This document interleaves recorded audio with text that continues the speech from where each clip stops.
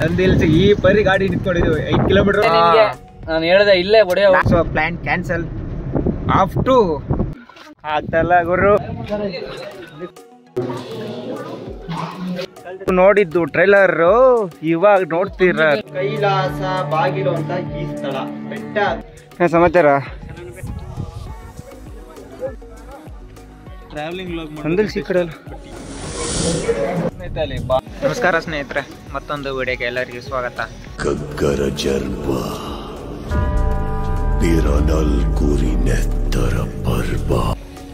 ನಮ್ಮ ಚಾನಲ್ನ ಇನ್ನೂ ಸಬ್ಸ್ಕ್ರೈಬ್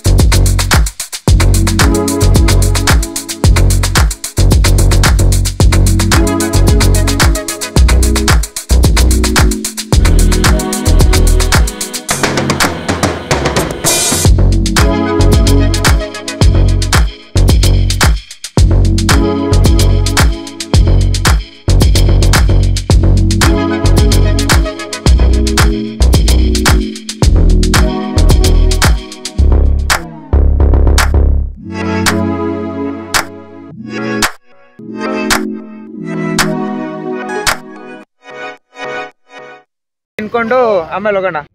ಬಾವಿನ ಕೆರೆ ಇಲ್ಲಿ ಇದೆ ಇದ್ರ ಪಕ್ಕದಲ್ಲಿ ಹಾಕ್ಬೋದು ಇಲ್ಲೇ ಹಾಕೋದಿತ್ತು ಸ್ನೇಹಿತರೆ ಫೈನಲ್ ಆಗಿ ನಾವು ಶಿವಗಂಗೆಗೆ ಬಂದಿದ್ದೀವಿ. ಇಲ್ಲಿಂದಾನೇ ಟ್ರೆಕ್ಕಿಂಗ್ ಸ್ಟಾರ್ಟ್ ಆಗುತ್ತೆ. ಇಲ್ಲಿಗೆ ಹತ್ಕೊಂಡು ಅಲ್ಲಿವರೆಗೂ ಹೋಗ್ಬೇಕು ನೋಡಿ. ಅಲ್ಲಿಗೆ ಹೋಗ್ಬೇಕು. ಅಂತ ಕಾಣಿಸುತ್ತೆ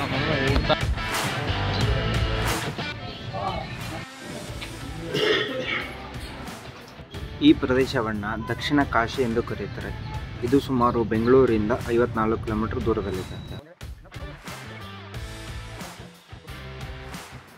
ಈ ಬೆಟ್ಟವು ಸಮುದ್ರ ಮಟ್ಟದಿಂದ ಸುಮಾರು ಹದಿಮೂರು ನೂರ ಎಂಬತ್ತು ಮೀಟರ್ ಎತ್ತರದಲ್ಲಿದೆ.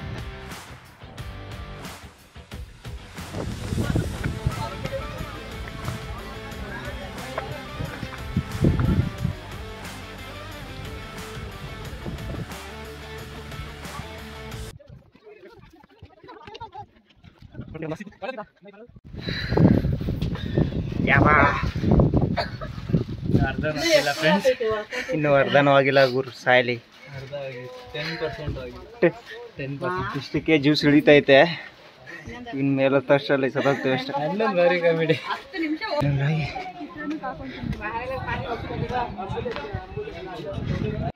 ಒಳ್ಕೊಳ್ತಿರ ಇಲ್ಲಿ ಒಳಗಡೆ ಹೋಗಲು ಒಬ್ರಿಗೆ ಎಂಟು ರುಪೀಸ್ ಅಂತ ಐದು ರೂಪಾಯಿ ತಗೋತಾರೆ.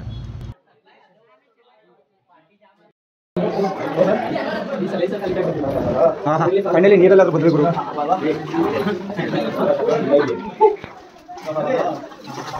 ಹಾ ಹಾ ಐಸಲ್ಲಿ ಕಾಲಿಟ್ಟಂಗೆ ಆಗ್ತೈತಲ್ಲ ಗುರು? ಫುಲ್ ನೀರು.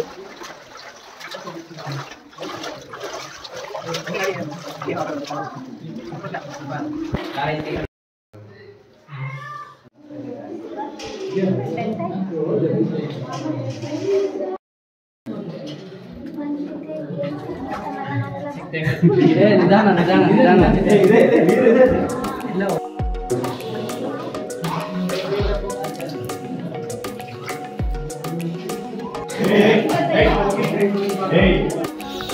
ಸ್ನೇಹಿತರೆ, ಇವಾಗ ಒಳ್ಕೊಳ್ತೀರ ನೋಡಿ ಸ್ವಲ್ಪ ರಿಲೀಫ್ ಆಯಿತು, ಒಳ್ಳೆ ತಣ್ಣಗಿತ್ತು ಒಳಗಡೆ. ಸ್ವಲ್ಪ ಖುಷಿ ಆಯಿತು. ಮತ್ತೆ ಬಿಸಿಲು.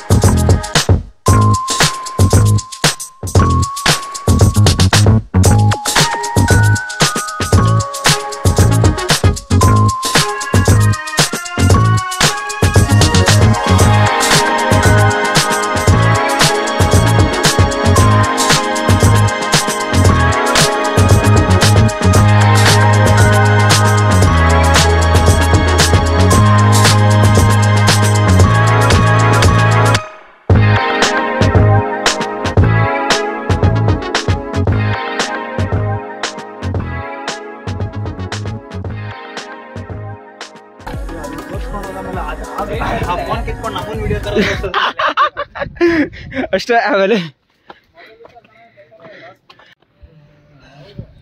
ಹಾಂ ಸಮಾಚಾರ? ಚೆನ್ನಾಗಿದ್ದೀರಾ? ರಾತ್ರಿ ಕಥನ್ okay friends bye bye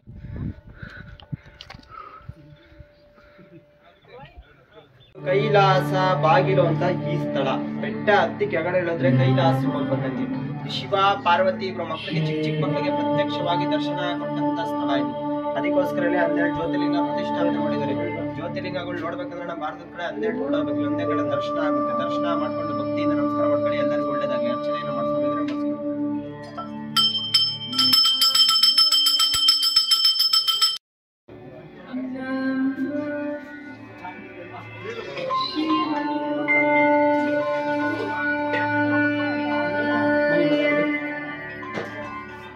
ಇದು ತ್ರಯಂಬಕೇಶ್ವರ ಅಂತ ಅಂದ್ರೆ ಬ್ರಹ್ಮ ವಿಷ್ಣು ಮಹೇಶ್ವರ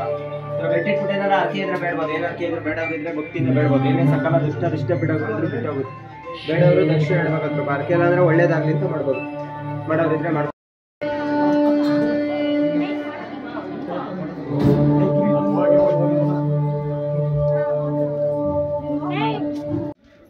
ಒಳ್ಳೆ ಒಂದು ಬ್ರೇಕ್ ತಗೊಂಡ್ರಿ ಇಲ್ಲಿ. ಹುಡುಗರೆಲ್ಲ ಸುಧಾರಿಸ್ಕೊತಾ ಇದ್ದಾರೆ ಈ ಬೆಟ್ಟವು ಒಂದೊಂದು ದಿಕ್ಕಿಂದ ಒಂದೊಂದು ಆಕಾರದಲ್ಲಿ ಕಂಡುಬರುತ್ತದೆ. ಉತ್ತರದಿಂದ ನೋಡಿದರೆ ಸರ್ಪದಂತೆ, ದಕ್ಷಿಣದಿಂದ ನೋಡಿದರೆ ಗಣೇಶನಂತೆ, ಪೂರ್ವದಿಂದ ನೋಡಿದರೆ ನಂದಿಯಂತೆ ಹಾಗೂ ಪಶ್ಚಿಮದಿಂದ ನೋಡಿದರೆ ಲಿಂಗದಂತೆ ಕಾಣುತ್ತದೆ.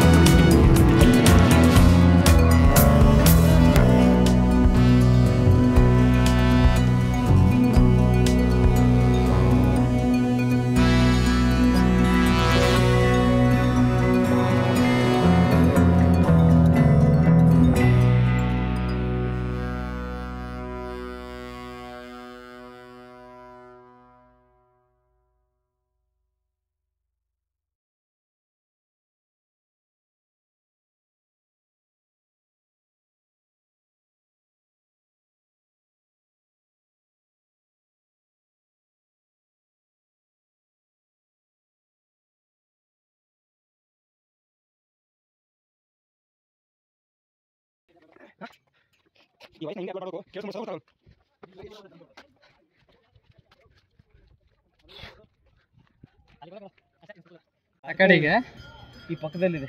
ಇಲ್ಲಿಂದ ಸ್ಟಾರ್ಟ್ ಆಗಿರೋ ಟ್ರಕ್ ನಮ್ದು. ನೋಡಿ ಇಲ್ಲಿ ಹೊಂಡ ಕಾಣಿಸ್ತಾ ಇದು ಇಲ್ಲಿಂದ ಸ್ಟಾರ್ಟ್ ಮಾಡಿ ಹಿಂಗ್ ಬಂದು ಹಿಂಗ್ ಬಂದು. ಇದು ಒಳಕಲ್ ತೀರ್ಥ.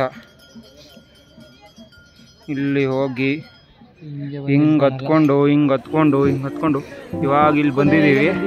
ಇಲ್ಲಿ ಬಂದಿದ್ದೀವಿ. ಇದು ನಂದಿ ಪ್ಲೇಸು ಒಂದು ಎರಡು ನಿಮಿಷ ಸ್ಟ್ರಕ್ ಆಗಿದೆ. ಒಂದು ಎರಡು ನಿಮಿಷ ಆದ್ಮೇಲೆ. ವಿಡಿಯೋ ಮಾಡ್ಕೊಂಡ್ ಬರ್ತಾ ನೀರು ಬಿಡಲ್ಲ ಅಡಿ. ಹೌದಾ? ಇರ್ಲಿ ಅಡಿ. ಹಾಕೊಂಬದ್ರಿ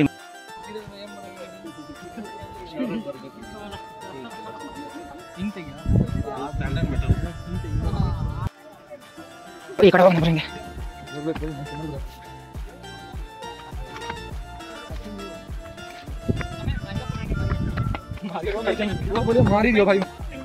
ಇಲ್ಲಿಂದ ಪರ್ಫೆಕ್ಟ್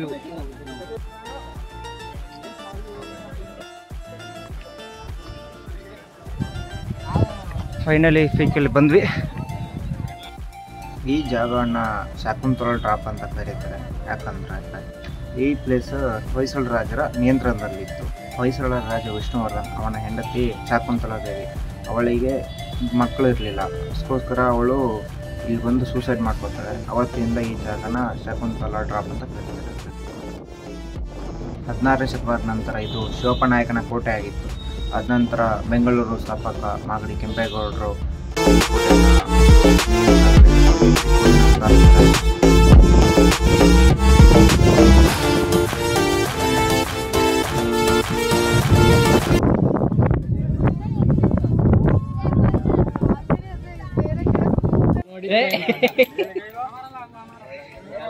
ಕವಾಡ್ ಕವಾಡ್ ನೀನ್ ಹಾಕ್ತೀಯ ಹಾಕ್ತೀಯ?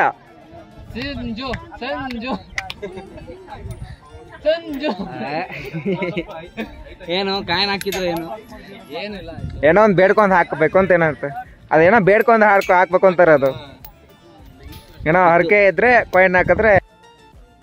ಶಿವಗಂಗೆ ಬೆಟ್ಟದಲ್ಲಿ ಕುಮುದ್ವತಿ ಎಂಬ ನದಿಯ ಮೂಲಸ್ಥಾನವಿದೆ. ಈ ನದಿಯು ವರ್ಕಾವತಿ ನದಿಯ ಉಪನದಿ. ಈ ಕುಮುದ್ವತಿ ನದಿಯು ಸುಮಾರು ನಾನ್ನೂರ ಅರವತ್ತು ಕಿಲೋಮೀಟರ್ ಹತ್ಕೊಂಡು ಹೋಗ್ಬಿಟ್ಟು ಮುಂದೆ ಹೋಗಿ ಅಕ್ರಾವತಿ ನದಿಯನ್ನು ಸೇರಿಕೊಳ್ಳುತ್ತದೆ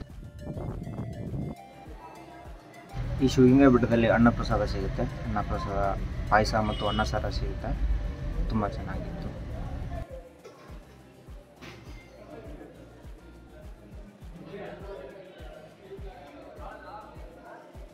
ಓಕೆ ಸ್ನೇಹಿತರೆ, ನೋಡಿದ್ರಲ್ಲ ಶಿವಗಂಗೆ ಬೆಟ್ಟನ? ಈ ವಿಡಿಯೋನ ಇಲ್ಲಿಗೆ ಎಂಡ್ ಮಾಡ್ತಾ ಇದ್ದೀನಿ. ಹೆಚ್ಚಿನ ವಿಡಿಯೋಗಳಿಗಾಗಿ ನಮ್ಮ ಚಾನಲ್ನ ಸಬ್ಸ್ಕ್ರೈಬ್ ಮಾಡೋದನ್ನು ಮರಿಬೇಡಿ. ಹಾಗೆ ಪಕ್ಕದಲ್ಲಿರೋ ಬೆಲ್ಲೈಕನ್ನ ಒತ್ತಿ. ಮತ್ತೆ ಹೊಸ ಹೊಸ ವಿಡಿಯೋಗಳ ಜೊತೆ ಮತ್ತೆ ನಿಮ್ಮನ್ನು ಭೇಟಿ ಮಾಡ್ತೀನಿ. ಮತ್ತೆ ಮುಂದಿನ ವಿಡಿಯೋದಲ್ಲಿ ಸಿಗೋಣ ಸ್ನೇಹಿತರೆ. ಬಾಯ್